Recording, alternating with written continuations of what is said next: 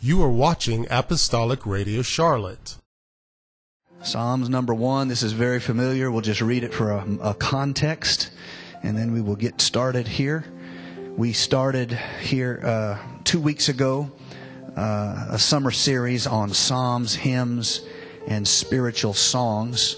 And so I'm going to read verse one of one. This is the introduction to the book. Blessed is the man who walks not on the counsel of the ungodly, nor stands in the path of sinners, nor sits in the seat of the scornful, but his delight, somebody say his delight. His delight is in the law of the Lord, and in his law he meditates day and night. Somebody say, Yes, Lord.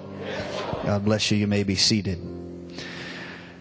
Let me give you a five minute recap for those who missed the last two Wednesday nights. Um, we are looking at these passages, these, these beautiful Psalms, um, not simply as a hymnal, although it can be thought of as the Christian's hymnal. We are looking them at them not only as prayers and supplications of heart, but they can be looked at that way. We're not just looking at them as a book of evidences, or shall I say, fulfilled prophecies. But it is true, the Psalms are full of fulfilled prophecies, particularly messianic prophecies. Finally, we're not simply looking at them as a guide on how to please the Lord and honor, honor Him with our lives, although the Psalms can be fairly reviewed in that manner. Excuse me.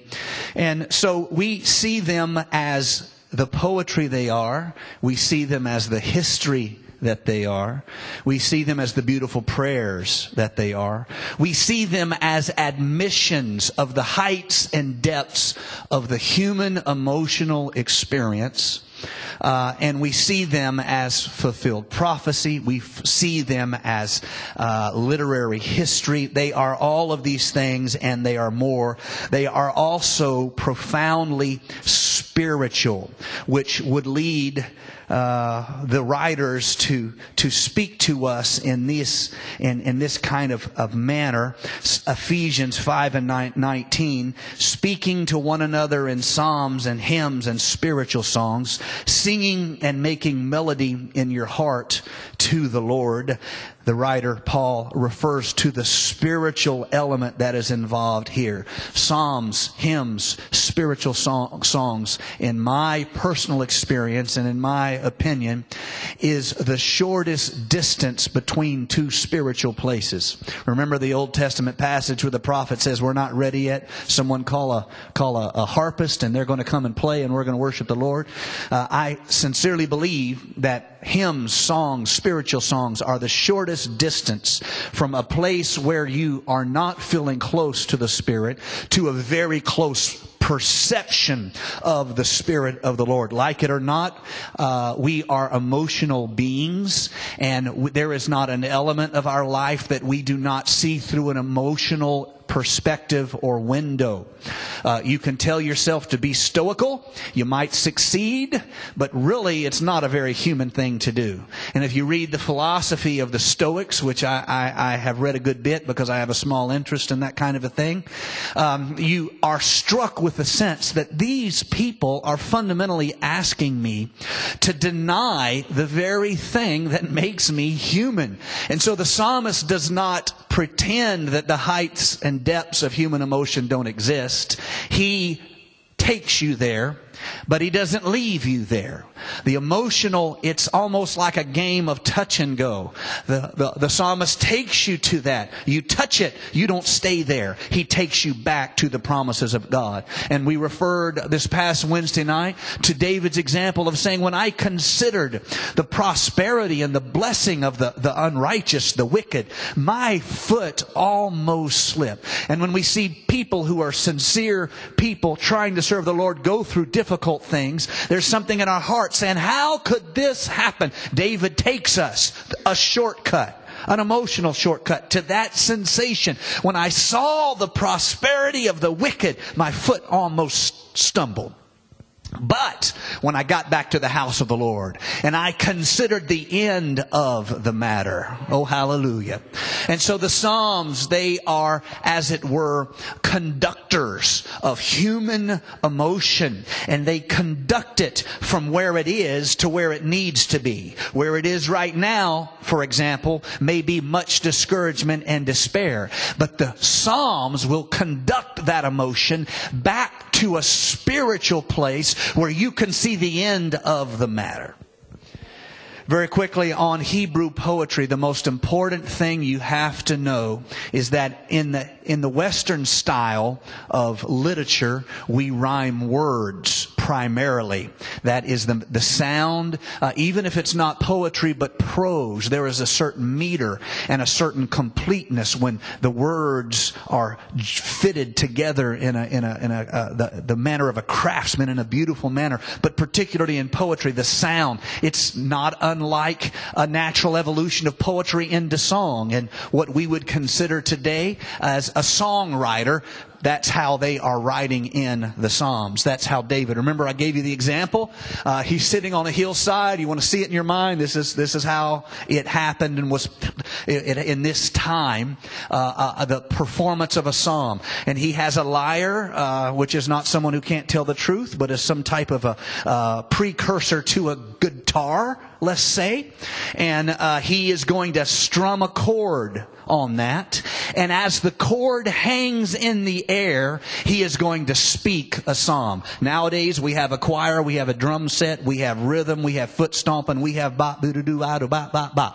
We do all that business. You want to imagine how it sounded in an ancient hillside? It was much more a chord is strummed and the notes hang on the air. And the psalmist says, Blessed is the man who walks not in the counsel of the ungodly. And the chord fades. And he may change a slight derivation or change of chord. And he strums again and the sound hangs in the air and he says, nor stands in the path of sinners and strum, nor sits in the seat of the scornful. These psalms were meant to be accompanied by uh, music. It didn't sound like us. That's okay, but they very much were. So we look at these Psalms, we become familiar with the poetry of them, uh, we get insight into God's character, we get pictures of Christ in prophecy, we get the literal history of fulfilled prophecy. But remember, the most important thing in Hebrew poetry is that they do not rhyme words, they rhyme ideas. This is the most important thing to understand in understanding poetry, not just in the Psalms, but all poetry. A lot of major and minor prophets write in poetry, and although they may not have said it to music, uh, it very much was the idea of a, a, a concept rhyming with the concept. And so we read, blessed is the man, walks not in the counsel of the ungodly. Now the idea he offers secondly is going to rhyme with the further one. First one, nor stands in the path of the sinners. And here comes a third rhyme, nor sits in the seat of the scornful. Uh, so this gives you uh, ideas and there's tons of technical information that I've went over and very briefly because, uh, you know, I was putting some people straight to sleep. Uh, but this idea of synonymous parallelism that's what we read here in the beginning of Psalms 1. Antithetical parallelism. That's what happens in verse number uh, 4. Talk about the righteous man, and now we're going to do antithetical parallelism, but the ungodly are not so. We're still rhyming ideas, but we're not just rhyming them as synonyms. We're sometimes rhyming them as antonyms. Progressive parallelism, uh, introverted. I talked about all of this, but the idea you've got to get if you want to really understand the richness richness of the Psalms is look for the idea rhyme. Uh, sometimes the idea is almost meditative, like Psalms 119, where an uh, idea is repeated and repeated and repeated and repeated. It's explored in this context and explored in that context, but it is meditative. It is like a drum that, that, that is sounded over and over again. So, with that quick review, let's start talking about two Psalms tonight. I'm not going to go uh, super in depth, um, but I want to touch on these as a way of enlightening it. And the first one, of course, is this way this picture of the righteous man in Psalms number one. And I want to point out this that is, I think, quite important the first introduction to a righteous man you're given is not in what he does do, but what he does not do. Uh, you guys have heard me teach this before. Sometimes it's easier defi- to define yourself in terms of what you're not going to do than it is to know exactly what you should do. Does that, does that make sense? This is a great exercise whenever you hesitate in front of a decision. Uh, you hesitate in front of uh, something that you're not sure. You want to get it right, but there's, you're, you're worried. Uh, you try to frame both sides of it. Well, this would be too much, so I'm not going to do that. That would be an overreaction. On this side, this would be not taking it seriously enough. What you've done is you've created for yourself two, as it were, stakes on each side of the road. Uh, if you've ever been out west in a big snowstorm, uh, I never forget going through West Texas in a big snowstorm in the middle of the night. Uh, I don't do stuff like this anymore, but when you're young, you think, you know, you're above disaster and setback. And you literally, in that Texas plain, you could not see any of the road. And when I say it was all white, I am not being dramatic. I'm not trying to impress you. I'm speaking a literal truth. There was no road in sight, just a field of snow. But in Texas, in the plains where they have this problem, every mile they put two reflectors. And when you can't see the road at all, you see two dots of light in the middle. Now in the south that wouldn't work because our roads curve so much. You'd see two dots and you'd be off and, you know, you'd be in Texas by accident. Uh, but in, in the plain states, you see two dots of light gleaming at you. And what you do is you aim for the middle of those two reflectors. And that's how you stay on the highway. I did it for 250 miles between Dallas and Amarillo in the middle of the night because I didn't have any good sense. But uh, you understand the point. When you define yourself by what you're not going to do, it gives you a marker on each side of the dilemma. I don't know exactly how to handle this, but I'm not going to do this. That would to unbe- be to not take it seriously, and I'm not going to do this because that would be to overreact. The, tr- the, the the goal has to be somewhere in the middle, or as we would think in Christian terminology, to be a temperate person. On this side is intemperance. On this side is intemperance. But in the middle somewhere, even if I don't get it exactly right, I know I'm going to get pretty close. So the, the man is defined by what he is not. I am not going to do these things. I'm not going to take counsel from the ungodly. I'm not going to stand in the path of sinners. I'm not going to sit in the seat of the scornful. I don't know everything I might ought to do, but I know what I'm not going to do. There's a great confidence that can come to an individual when you set some rules in your own heart that are not about pleasing a preacher. They're not about managing your neighbor. They're not about griping out somebody that you don't get along with, and they're certainly not about your personal hobby of criticizing people. They are about your rules. And you say, I am not going to live this way. I refuse to live this way. This is my mark right here. I'm not doing that.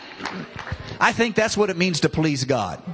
If you're trying to please your neighbor, who are you serving? Let me move along.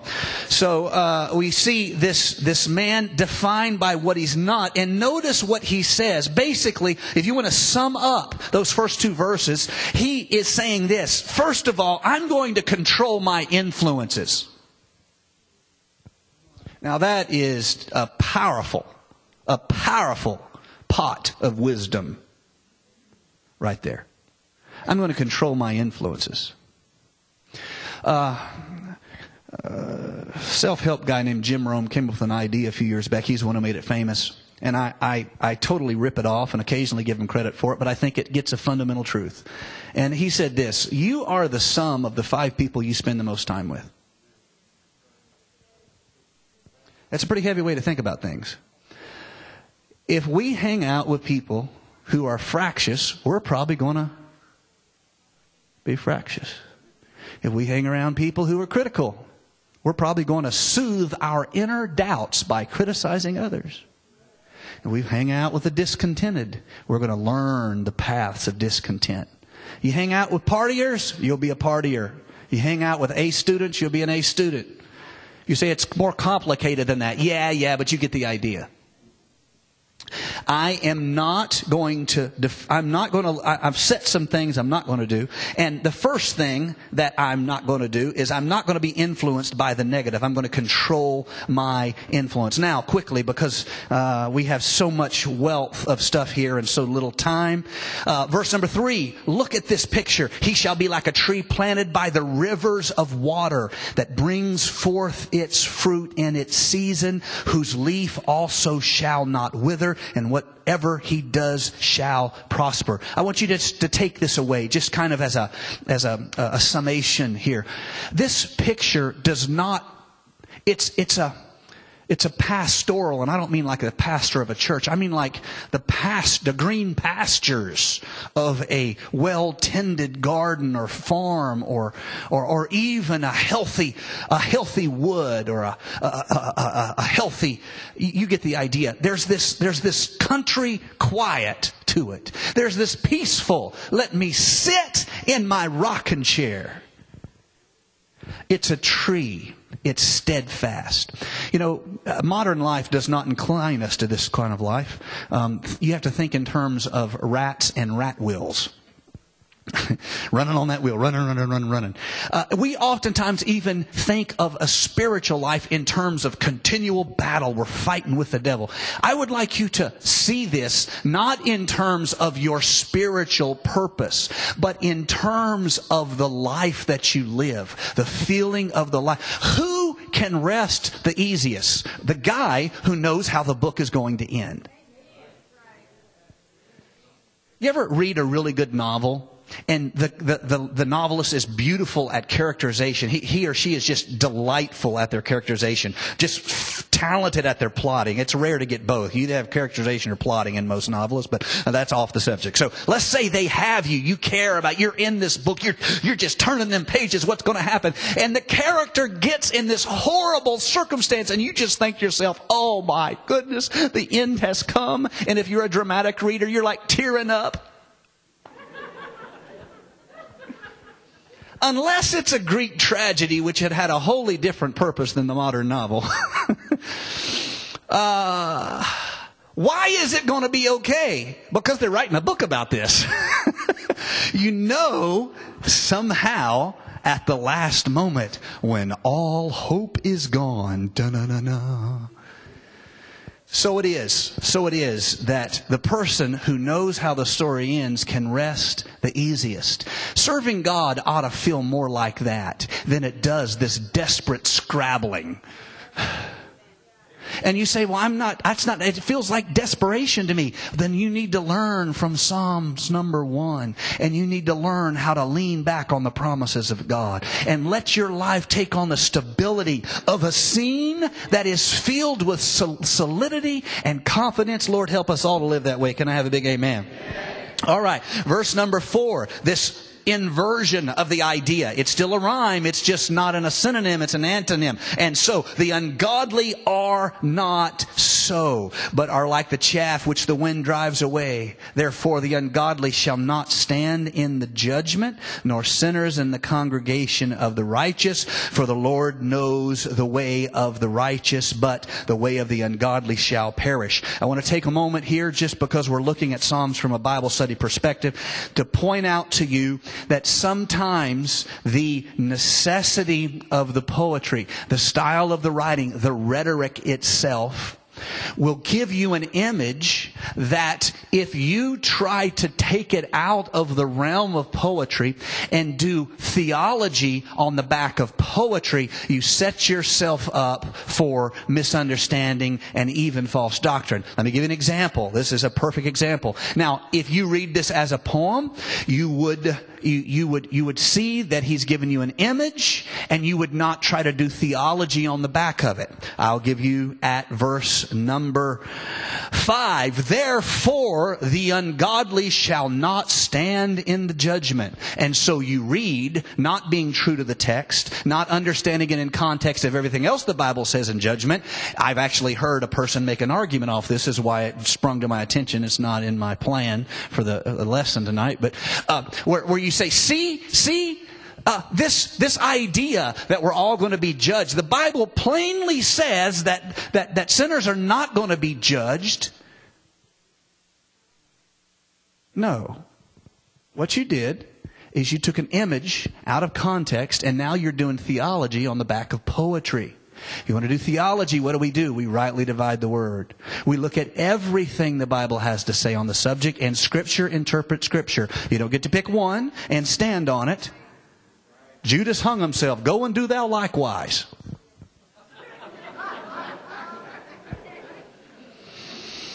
Uh, so the point is, if you get into it and you look at the term, what he means by stand, in other words, to stand in the presence of royalty is to have royal approval. In the court of royalty, a condemned man does not stand but it lies prostrate on the ground. You under, okay, you guys, moving along. I don't want to spend time on that. And so this, we must understand that there is over and over, even in the messianic images, there are things that on the shallowest level, it sounds as though it's in con, it, it is, uh, it, it is somehow doesn't fit with what happened in the ministry of the Lord Jesus Christ, but this shows the limitations of translation. You have to see the intent. You have to take the time and care enough to see the intent and the, understand the basis of poetry, the rhetorical words. Things can be rhetorically true that are not literally true. I could stand here right now and say, I'm so discouraged, I just wish I'd have died when I was little. Now, I'm speaking rhetorically, right? Very few people think when you say that, you literally mean you wanted to die. Uh, am I, am I beating a dead horse? Well, let's assume that you get it, okay? If you don't, God bless you. Uh, so this contrasting idea, the ungodly are not so. That, then it's the opposite. Their life is turmoil. The wind drives away. They haven't solidity. They cannot stand in the storm. They shall not stand with approval in the judgment, etc., etc. And so this is the contrast. this is the introduction that the psalmist wants you to see. He's not preaching a message. He's not teaching theology. He's singing you a song. And the song goes like this With God, everything is right and in order. With God, there's beauty in life, there's purpose in your days. But to live without God is to live a life without solidity, a life without purpose, a life that in, in, in some way is ultimately empty in that the disconnect between creator and creation has caused a division in purpose. This is the song he's going to sing. And it won't sound like our song, but Psalms number one is one of the beautiful Psalms of the Word of God. It is an answer to this question. The original, uh, I, I don't know if I should say original, but one of the original questions of human philosophy was, what does it mean to have a good life? What does it mean to have a happy life? Uh, Socrates, uh, asked the question of all his succeeding generation of students What is the good life? This writer is answering that. What is the good man? What is the blessed man? And gives us a picture in a song in Psalms number one. Now, contrast from Psalms number, number one to go into Psalms number two, which is uh, a change of style and pace. And just give me a, a few more minutes. I won't keep you long. I, you know, I never do. I have frequent flyer miles built up. So even if I went long one time, you would owe me for all the times I respected your time, right? uh, the ultimate victory of the Messiah. Psalms number one is a picture of the kind of people we ought to be. Psalm number two immediately is a picture of the coming Messiah. And so this psalm has four voices. Imagine if we were to have a, a, a, similar song, we would have four soloists. And each soloist would sing a certain part. And when they were done, the second soloist, you will occasionally, if you come to uh, a service where we have a, a choir, you will occasionally hear this hand off of focus where one singer sings and hands it off to another. There is four voices that will sing in Psalms number two. Psalms number one, uh, excuse me, in, in Psalms number two, but the four voices in this psalm. Starting at the verse verse through the third verse, this is the protest of the nations against God, against God's plan, against God's will, against the Christ. From verses four to six, this is the response of the, the second voice that is singing. This is the Lord's reply to the protest of the nations. Number three, that's the Lord's protest. Number three is the introduction of the Messiah. Number four is the psalmist's reproach to those who would stand in the path, in the way, in the will of the Messiah. And so, very quickly, these are familiar words. You will have heard them and they are beautiful in their, in, in, in just in the sound and the rhetoric. Uh, beautiful, beautiful language. Why do the nations rage and the people plot a vain thing? The kings of the earth set themselves and the rulers take counsel together against the Lord and against his anointed, messianic, saying, Let us break their bonds in pieces and cast away their cords from us. This is the first voice. What duty do we owe to our Creator, the leaders of this uh, world ask. Why should we be beholden? Why should we not deify ourselves?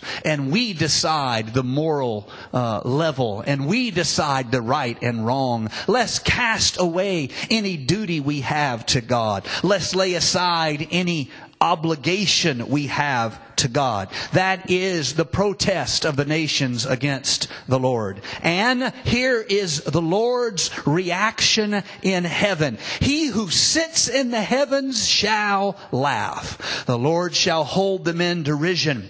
Then he shall speak to them in his wrath and distress them in his uh, displeasure. Yet I have seen my king on my holy hill of Zion. This is the view of earth's protest from heaven. Remember, this is a song. And for generations they gathered and at the temple worship and the tabernacle worship, they would speak this, and thousands of Hebrew ears listened and reminded themselves in their heart that their God was great and their God was in control. It's not just us who are given these words. And sometimes when we read them with a modern review, we miss the beauty because you need to see it as a tabernacle, as a temple, see it as an individual, see it as a shepherd on a hillside. That's heaven's response. God is not troubled by earthly rebellion. Our most heinous rebellion and rejection at best causes comedy in heaven. Now, although you would think that a laughing God was a God who didn't care, you're going to be surprised because the God who laughs at our rebellion doesn't stop with a joke. You ever look back at yourself, BC, and think about the crazy stuff you did? Now, I, I, I grew up in the church, so I had to do some crazy stuff as a half backslidden young person. That is not a get out of jail free card, just so you know. the God who laughs at our rebellion doesn't laugh and walk away, He laughs and opens His arms. Verse number seven. I will declare the decree the Lord has said to me, You are my son. Today I have begotten you. Ask of me, and I will give you the nations for your inheritance, and the ends of the earth for your possession. You shall break them with a rod of iron and dash them to pieces like a potter's vessel. Interesting. It's poetry. It resonates with the Hebrew view of what a royal, a, a divinity would do. How would they handle it? And yes, it is that the spiritual strongholds are broken. But it's not that the humanity at the heart of the struggle can be destroyed. It's not so the believer or uh, the person calling upon the Lord can be destroyed. No, it's principalities and powers that are broken so that that which is contested over the souls of humanity can be saved. I'm almost done. And so you see this final reproach from the songwriter. Having introduced this idea, he is going to end with this. Now, therefore, be wise, O kings. Be instructed, you judges of the earth. Serve the Lord with fear and rejoice with trembling. Kiss the Son, lest he be angry and you perish in the way when his wrath is kindled but a little. Blessed are all those who put their trust in him. And so, let's summarize it in a modern way. There is a war going on. And there is a rebellion that started in heaven but has fallen to earth. And that which is contested over is the souls of humanity. And there are those who are going to ally with the ally with the rebellion, and there are those who are going to accept within themselves that their only hope for true redemption is through the life, death, and ministry of the Lord Jesus Christ. You say that seems like an oversimplification. Well, it is, of course, by a necessity, an oversimplification. That doesn't mean it's not true. Because through the Lord Jesus Christ, we have victory. And to all who would rebel against his plan, it's not going to work the psalmist would say. You can burn the Bibles you gather. It's not going to work. You can persecute the church in communist countries. It's not going to work. Jesus is victorious.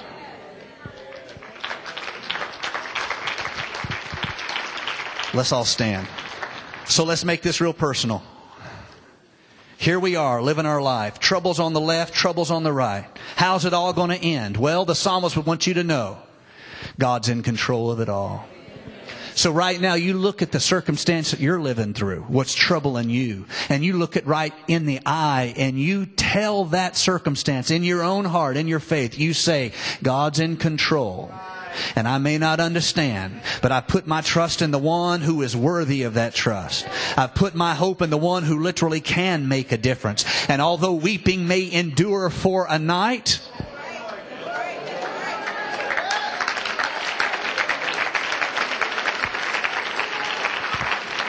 And although brother Robert might be sick for a week, and Sister Michelle might be bedridden for a week, we- weeping is real, and it endures for a night. But don't stop the song with the tears. Don't stop the song with the weeping. You finish the song. A day's coming when this one in whom I have placed my trust is going to take me up out of this world. This flesh, which gets tired and weary, is going to put on immortality, and I'm going to forever be with the Lord.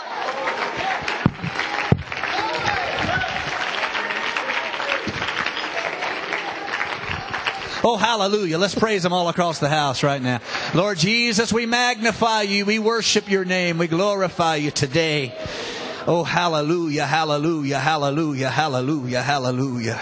In Jesus' name, in Jesus' name. Before we go, take your neighbor's hand, put a hand on their shoulder, whatever's appropriate, whatever you're comfortable with. I want you to pray for them right now, that person you're standing by. I want you to pray the protection of the Lord on them for this week. I want you to pray victory in their walk with God. I want you to pray in faith right now. I want you to believe your prayers make a difference. And I want you to pray a prayer of intercession right now for that person. I pray you're keeping upon them, Lord Jesus. You know how to open the door that the enemy would try to keep shut in their life. You know how to bless them in the very area where the enemy's trying to hurt them.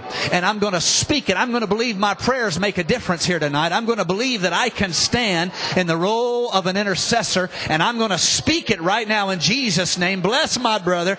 Bless my sister. Give strength to the weak. Give hope to the, the, the, the spiritually discouraged. In Jesus' name we pray.